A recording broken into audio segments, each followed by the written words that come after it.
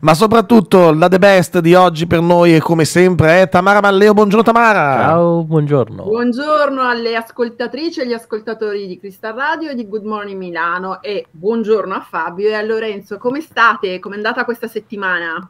Grazie mille Tami, tutto bene. Tu come stai? Bene, molto bene, molto bene.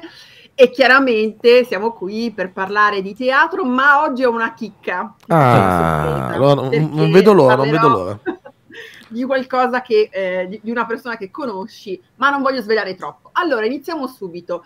Iniziamo subito con un teatro, Teatro del Borgo, che è un teatro che è aperto l'anno scorso in una zona, eh, diciamo, dove non, un, non, c'era un presidio teatrale, e cioè in zona Palo Sarpi.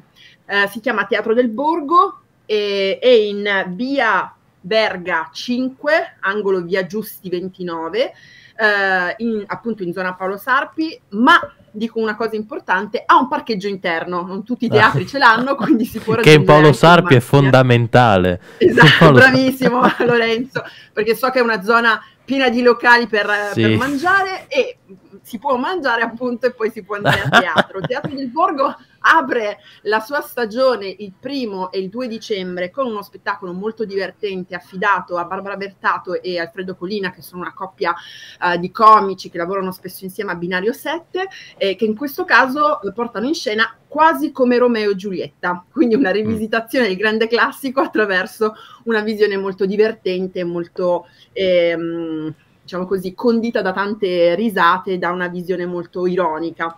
Eh, quindi ricordiamo, comunque Teatro del Borgo, io vi consiglio di andare a vedere il sito, ha una programmazione molto ampia, con tantissimi e tantissime artisti e artiste, eh, tra cui vi dico Alice Francesca Redini che mh, firma un testo, una regia con due bravissime attrici che sono Elena Scalet e Francesca Gemma, ma ci sono veramente, c'è Ippolita Baldini, insomma ci sono tantissimi nomi che potete ritrovare, Teatro del Borgo in zona Paolo Sarpi. Quindi ve lo consiglio, e lo, lo, la direzione artistica di Fabio Zulli, che è un attore, fa parte della compagnia OIES, e mm, porta avanti dei progetti appunto teatrali. Secondo eh. appuntamento invece. Ok, sentiamo il secondo, il primo andato. Due, che so che appunto de- diretto da Valentina Pescetto, che so che conosci. Ah, fatto il 32, sì, sì, sì, sì, in quel di, di, Barona, intenderci. Che è in zona Navigli, diciamo sì. così, eh, metropolitana Romolo, Verde, e poi si prende la 47 fino, mi sembra che siano 4-5 fermate, o comunque si può andare anche in macchina perché anche questo teatro ha un parcheggio, quindi in questo caso si può raggiungere. Mi piace adesso che la postilla del, del parcheggio...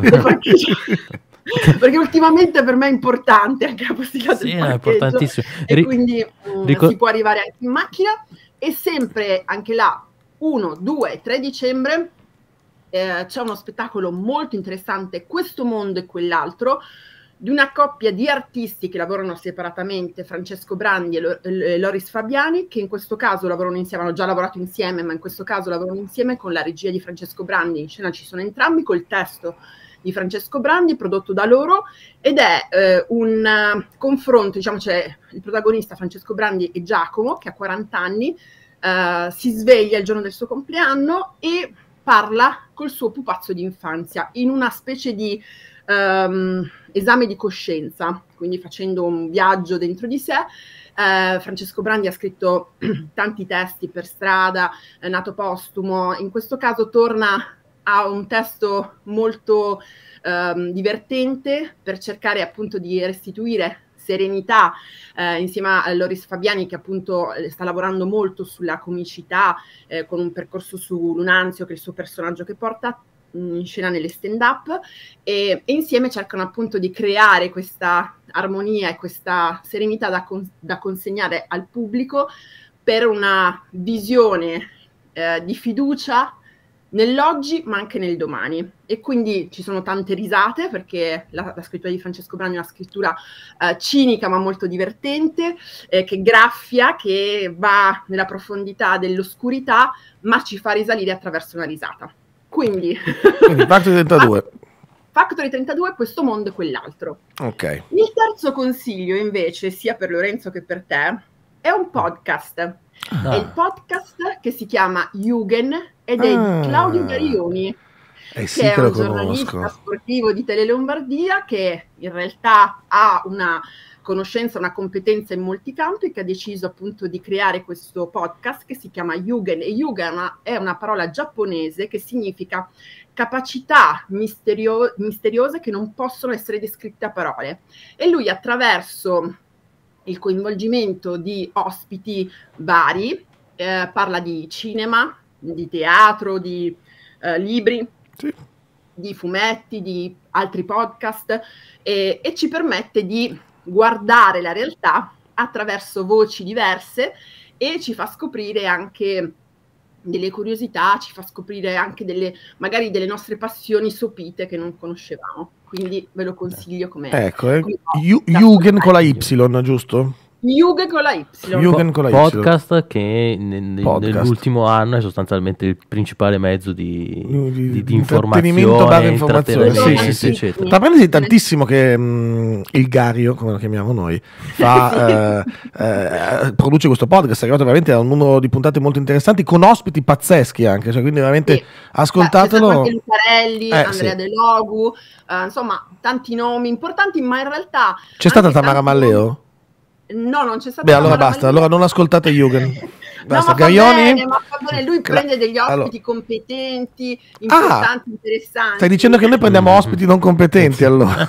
No, allora voi prendete degli ospiti cercando di dargli fiducia. Ah, ok, ok, ok. okay. Hai una grandissima fiducia. Gli date spazio per crescere, per imparare. Grazie, okay. perché voi fate questo. Allora, tu non hai bisogno di imparare niente perché sai già benissimo eh. tutto, anzi sei tu che ci insegni ogni giorno no. e ogni settimana davvero delle grandi cose sul teatro. Anche oggi quindi due appuntamenti più a questa chicca molto interessante del podcast Jugend eh, beh, Tami, grazie, cioè, come sempre. Grazie sono... a voi, come sempre. Però eh, la promessa che prima o poi mi raccontate voi uno spettacolo che andate a vedere a teatro. Ma io vorrei in realtà che ci andassimo tutti e tre insieme, così almeno. Sarebbe eh, meraviglioso. Allora, ci, volete ci, che io scelga yeah. qualcosa per portarvi a teatro? Ci, ci inse... Per me va bene, per me va benissimo. Fai, per una volta fai il cavaliere e, e, scegli tu qualcosa per nella vita, Lorenzo. Cioè, scegli tu qualcosa. Stupisci Tamara.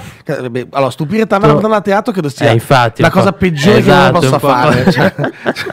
Esatto. Lo dico a tutti i fan no. che ci scrivono, non, cioè, prendetela per la gola, fategli altre cose, una torta, un, esatto, un film magari, ma sul teatro io mi affiderei. No, esatto, esatto, esatto. Io mi affiderei esatto. effettivamente.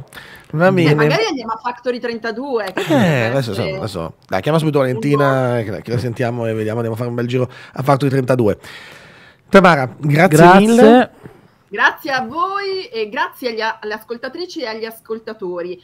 Ci vediamo a teatro, che è sempre un buon, diciamo così, un buon augurio e um, speriamo di Uh, in questi spazi, ti rubo solo un minuto, in questi Vai. spazi co- come questo vostro, ma in generale, appunto si cerca di, di parlare di tantissimi temi, ci, ma sempre con grande serenità, con grande coinvolgimento, sperando che possa tutto questo essere utile per tutti noi per essere più consapevoli, più critici verso noi stessi, ma anche verso quello che ci circonda, per guardare tutto con il giusto distacco, ma anche la giusta partecipazione.